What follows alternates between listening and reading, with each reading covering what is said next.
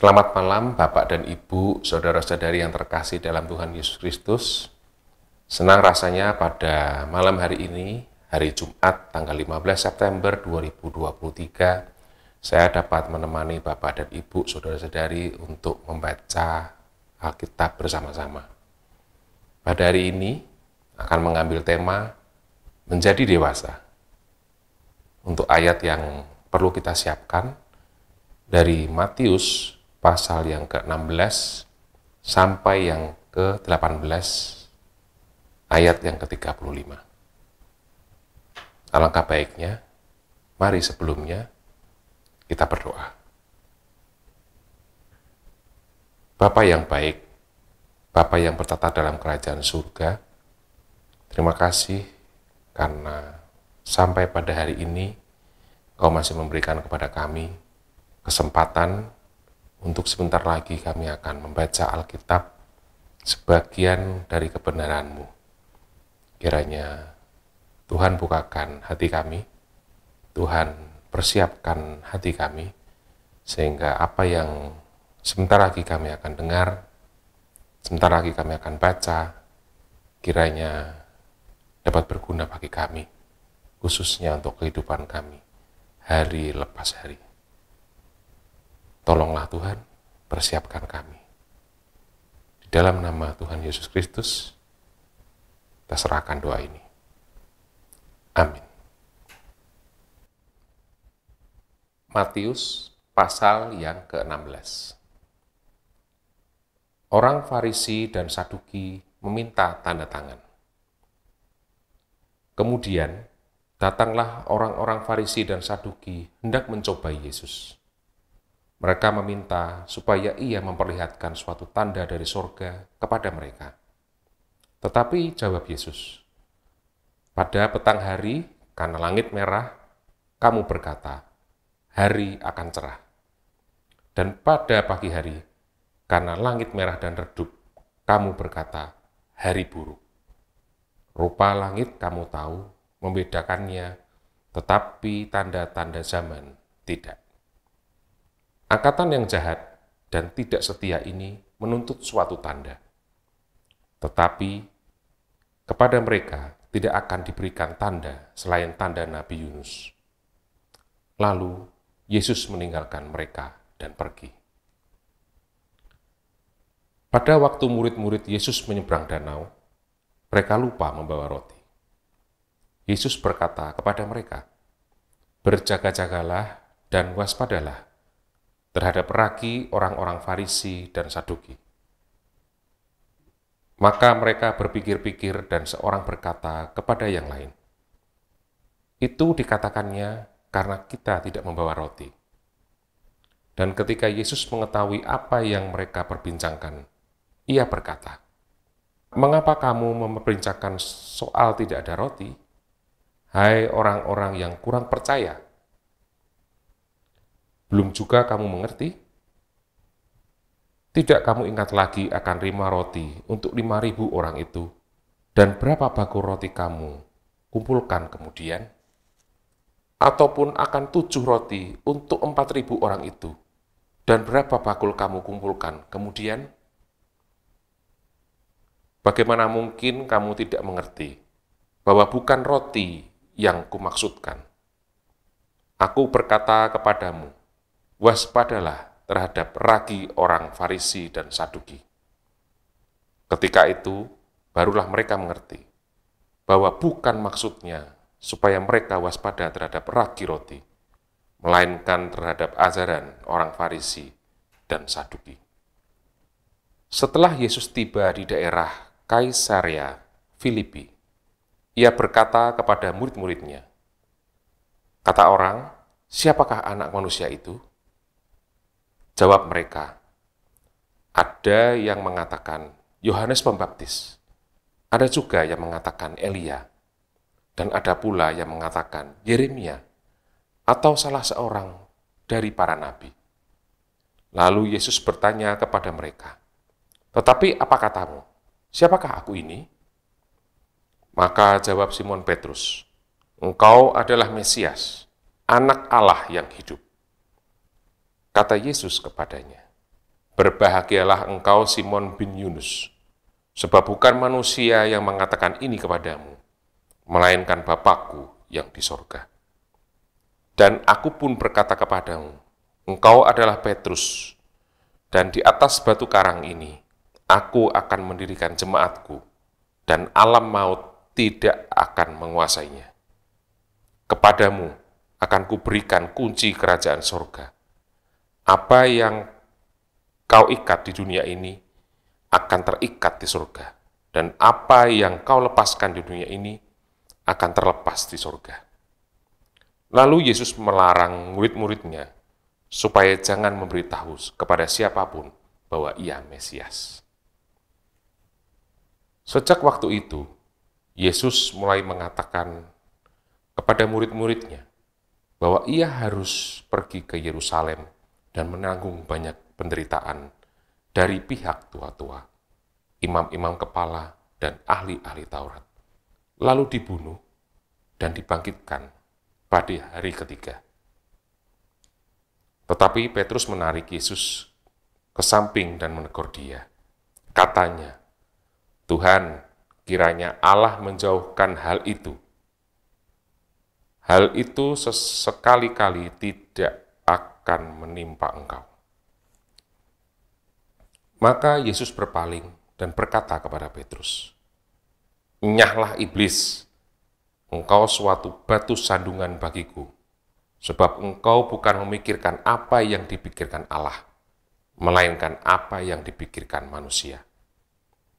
Lalu Yesus berkata kepada murid-muridnya, Setiap orang yang mau mengikut aku, ia harus menyangkal diri, memikul salibnya, dan mengikut aku. Karena barang siapa mau menyelamatkan nyawanya, ia akan kehilangan nyawanya. Tetapi barang siapa kehilangan nyawanya, karena aku, ia akan memperolehnya. Apa gunanya seorang memperoleh seluruh dunia, tetapi kehilangan nyawanya? Dan apakah yang dapat diberikannya sebagai ganti nyawanya? Sebab anak manusia akan datang dalam kemuliaan Bapaknya, diiringi malaikat-malaikatnya. Pada waktu itu, ia akan membalas setiap orang menurut perbuatannya. Aku berkata kepadamu, sesungguhnya di antara orang yang hadir di sini, ada yang tidak akan mati sebelum melihat anak manusia datang sebagai raja dalam kerajaannya. Enam hari kemudian, Yesus membawa Petrus, Yakobus, dan Yohanes saudaranya, dan bersama-sama dengan mereka, ia naik ke sebuah gunung yang tinggi. Di situ mereka sendiri saja. Lalu Yesus berubah rupa di depan mata mereka. Wajahnya bercahaya seperti matahari, dan pakaiannya menjadi putih bersinar seperti terang. Maka nampak kepada mereka Musa dan Elia sedang berbicara dengan dia. Kata Petrus kepada Yesus, Tuhan, betapa bahagianya kami berada di tempat ini. Jika engkau mau, biarlah kudirikan di sini tiga kemah, satu untuk engkau, satu untuk Musa, dan satu untuk Elia. Dan tiba-tiba, sedang ia berkata-kata, turunlah awan yang terang menaungi mereka dan dari dalam awan itu terdengar suara yang berkata, Inilah anakku yang kukasihi, kepadanya lah aku berkenan, dengarkanlah dia. Mendengar itu, tersungkurlah murid-muridnya, dan mereka sangat ketakutan. Lalu Yesus berkata kepada mereka, dan menyentuh mereka sambil berkata, Berdirilah, jangan takut. Dan ketika mereka mengangkat kepala, mereka tidak melihat seorang pun kecuali Yesus seorang diri. Pada waktu mereka turun dari gunung itu, Yesus berpesan kepada mereka, Jangan kamu ceritakan penglihatan itu kepada seorang pun sebelum anak manusia dibangkitkan dari antara orang mati. Lalu murid-muridnya bertanya kepadanya, kalau demikian, Mengapa ahli-ahli Taurat berkata bahwa Elia harus datang dahulu? Jawab Yesus, memang Elia akan datang dan memulihkan segala sesuatu. Dan aku berkata kepadamu, Elia sudah datang, tetapi orang tidak mengenal dia dan memperlakukannya menurut kehendak mereka. Demikian juga anak manusia akan menderita oleh mereka. Pada waktu itu, mengertilah murid-murid Yesus bahwa ia berbicara tentang Yohanes Pembaptis. Ketika Yesus dan murid-muridnya kembali kepada orang banyak itu, datanglah seorang mendapatkan Yesus dan menyembah. Katanya, Tuhan, kasihanilah anakku, ia sakit ayan dan sangat menderita. Ia sering jatuh ke dalam api dan juga sering ke dalam air. Aku sudah membawanya kepada murid-muridmu, tetapi mereka tidak dapat menyembuhkannya. Maka kata Yesus, Hai kamu, angkatan yang tidak percaya dan yang sesat, berapa lama lagi aku harus tinggal di antara kamu? Berapa lama lagi aku harus sabar terhadap kamu? Bawalah anak itu kemari. Dengan keras, Yesus menegur dia. Lalu keluarlah setan itu daripadanya. Anak itu pun sembuh seketika itu juga. Kemudian, murid-murid Yesus datang, dan ketika mereka sendirian dengan dia, bertanyalah mereka, mengapa kami tidak dapat mengusir setan itu? Ia berkata kepada mereka, karena kamu kurang percaya, sebab aku berkata kepadamu, sesungguhnya Sekiranya kamu mempunyai iman sebesar biji sesawi saja, kamu dapat berkata kepada gunung ini, pindah dari tempat ini ke sana, maka gunung ini akan pindah, dan takkan ada yang mustahil bagimu. Jenis ini tidak dapat diusir kecuali dengan berdoa dan berpuasa. Pada waktu Yesus dan murid-muridnya bersama-sama di Galilea. Ia berkata kepada mereka, Anak manusia akan diserahkan ke dalam tangan manusia, dan mereka akan membunuh dia pada hari ketiga. Ia akan dibangkitkan.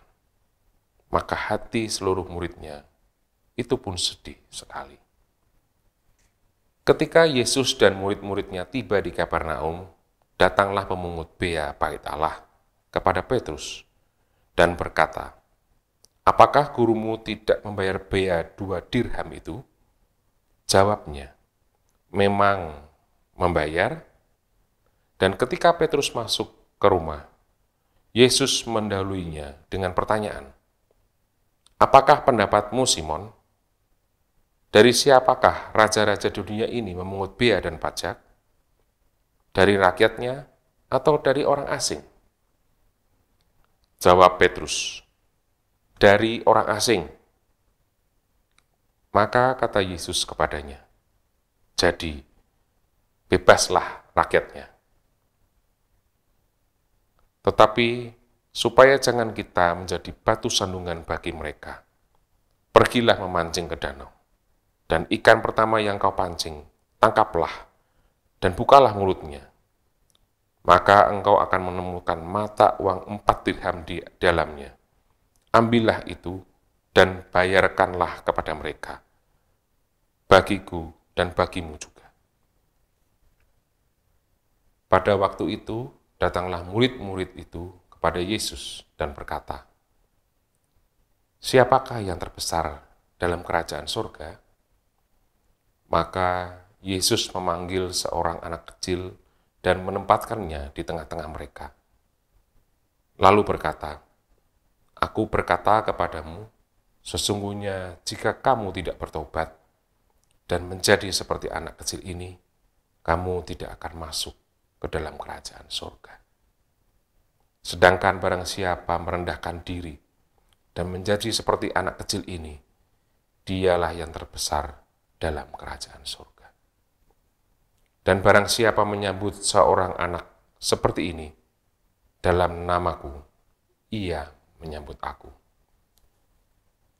Tetapi barang siapa menyesatkan salah satu dari anak-anak kecil ini yang percaya kepadaku, lebih baik baginya jika sebuah batu kilangan diikatkan pada lehernya, lalu ia ditenggelamkan ke dalam laut.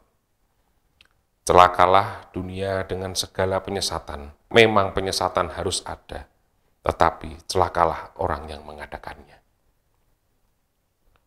Jika tanganmu atau kakimu menyesatkan engkau, penggalah dan buanglah itu.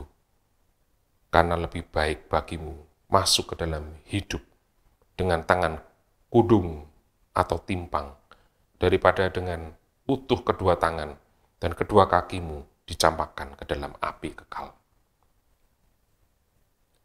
Dan jika matamu menyesatkan engkau, cungkilah dan buanglah itu, karena itu lebih baik bagimu masuk ke dalam hidup dengan bermata satu, daripada dicampakkan ke dalam api neraka dengan bermata dua. Ingatlah, jangan menganggap rendah seorang dari anak-anak kecil ini karena aku berkata kepadamu, ada malaikat mereka di sorga yang selalu memandang wajah Bapakku yang di sorga. Karena anak manusia datang untuk menyelamatkan yang hilang. Bagaimana pendapatmu jika seorang mempunyai seratus ekor domba dan seekor di antaranya sesat? Tidaklah ia akan meninggalkan yang 99 ekor di pegunungan dan pergi mencari yang sesat itu. Dan aku berkata kepadamu, sesungguhnya jika ia berhasil menemukannya, lebih berhasil kegembiraannya atas yang seekor itu daripada atas yang 99 ekor yang tidak sesat. Demikian juga Bapamu yang di sorga tidak mengendaki supaya seorang pun dari anak-anak ini hilang. Apabila saudaramu berbuat dosa, tegurlah dia di bawah empat mata. Jika ia mendengarkan nasihatmu, engkau telah mendapatkannya kembali.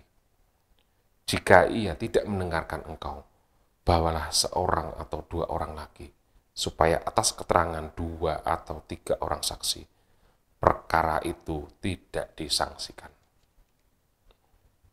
Jika ia tidak mau mendengarkan mereka, sampaikanlah soalnya kepada jemaat.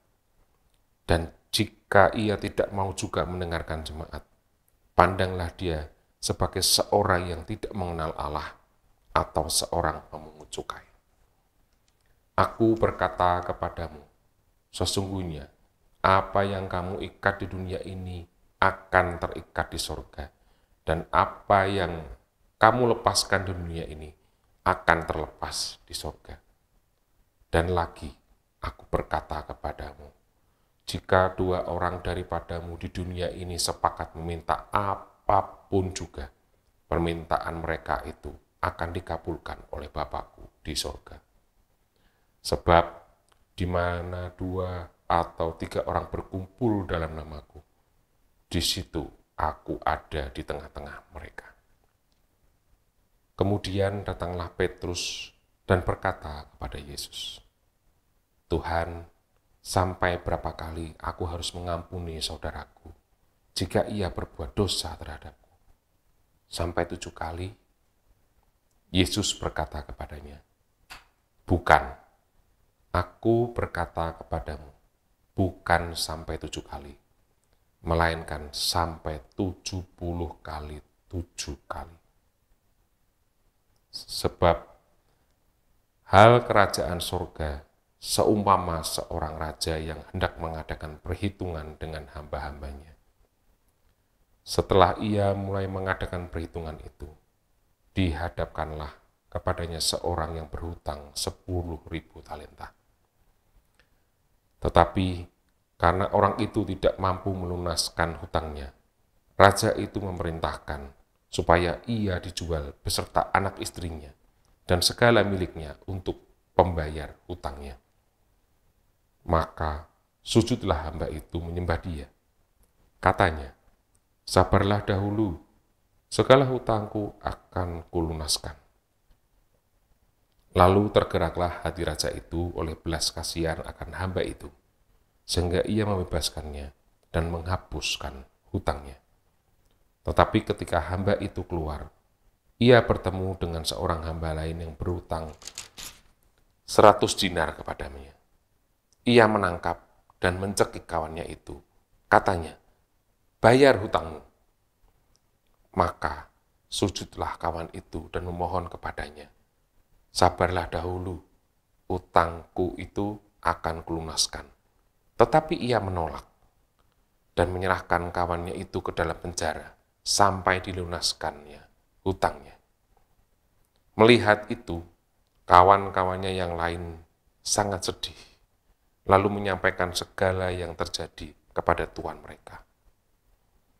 Raja itu menyuruh memanggil orang itu dan berkata kepadanya, Hai hamba yang jahat, seluruh hutangmu telah kuhapuskan karena engkau memohonnya kepadaku bukannya engkau pun harus mengasihani kawanmu seperti aku telah mengasihani engkau. Maka marahlah tuannya itu dan menyerahkannya kepada Al-Goju sampai ia melunaskan seluruh hutangnya. Maka Bapakku yang di surga akan berbuat demikian juga terhadap kamu apabila kamu masing-masing tidak mengampuni saudaramu dengan segenap hatimu.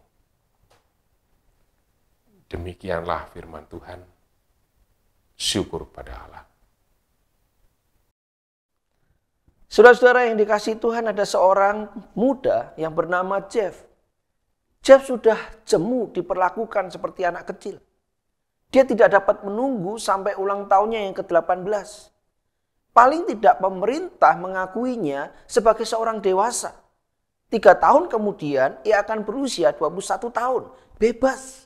Ia dapat melakukan apa saja yang ia kehendaki. Akan tetapi Tuhan Yesus memaksudkan hal yang sebaliknya. Ia tidak mengatakan jadilah dewasa. Ia menasihati kita untuk menjadi seperti anak kecil. Aku dapat menjamin kebenaran ini. Kecuali kamu berubah dan menjadi anak kecil ini. Kamu tidak akan masuk dalam kerajaan surga. Matius pasal 18 ayat 3 versi Godward. Saudara, apa sebenarnya yang dimaksudkan oleh Tuhan Yesus? Apa salahnya untuk melihat sesuatu sebagai seorang dewasa? Tentu saja ia menghendaki agar kita bertindak dengan tanggung jawab. Namun ketika ia menghendaki agar kita menjadi seperti anak kecil, Tuhan Yesus mempunyai pemikiran yang berbeda. Anak kecil biasanya dapat melihat hal-hal tertentu lebih baik dari orang dewasa ketika kita masih anak-anak, kita melihat sesuatu apa adanya tanpa memerlukan penjelasan untuk segala sesuatu. Kita kagum melihat bintang-bintang. Kita senang melihat kayu terapung di air. Kita kagum dapat mengendarai sepeda. Jika seseorang mengatakan kepada kita bahwa hidup ini luar biasa dan Tuhan terlibat di tengah semuanya itu, kita langsung percaya tanpa membuat perhitungan untuk membuktikannya. Tuhan Yesus senang akan hal itu. Ia menghendaki kita mendengar dan percaya seperti anak kecil. Jika kita berjalan keluar untuk pertama kalinya, pandanglah ke atas dan tariklah nafas panjang. Dan ingatlah bahwa Tuhan bersama kita. Nikmatilah Tuhan seperti seorang anak kecil Tertawalah terbahak-bahak dan melompatlah. Ingatlah bahwa Tuhan menciptakan seluruh dunia bagi kita untuk dinikmati. Amin. Mari kita berdoa. Bapak terima kasih ketika kami diingatkan satu hal yang penting dan berharga dalam hidup kami. Dengan beranjaknya usia, dengan banyaknya tanggung jawab yang harus kami tanggung. Seringkali kami kehilangan hal-hal yang esensi hal-hal yang penting dan mendasar dalam hidup kami. Malam ini kau mengingatkan kami bagaimana kami memandang segala sesuatu sebagaimana anak kecil. Kami memandang tanpa kalkulasi. Kami melihat tanpa perhitungan-perhitungan yang rumit dan sulit. Kami melihat segala sesuatunya dengan cara pandang Tuhan. Kami tahu bahwa dalam segala perkara kami punya Tuhan yang beserta. Oleh karena itu Tuhan mampukan kami untuk percaya, menaruh harap kami kepadamu, dan kami melakukan segala yang Tuhan percayakan. Dengan sungguh hati kami melakukan yang terbaik untuk setiap waktu yang Tuhan percayakan. Berkati kami supaya kami boleh melepas lelah dan kami terus mengalami damai sejahtera di dalam Tuhan. Di dalam nama Yesus kami berdoa. Amin. Saudara yang dikasih Tuhan begitu banyak beban yang kita pikul hari ini. Sehingga sering kali kita memikirkan, memperhitungkan, sehingga segala sesuatu menjadi begitu rumit di hadapan kita. Malam ini Tuhan mengingatkan kita, mari kita pandang segala sesuatu sebagaimana ketika kita anak memandang segala sesuatu. Semuanya luar biasa, semuanya mendatangkan bahagia, semua karena kasih setia Tuhan pada kita. Tuhan memberkati kita semua.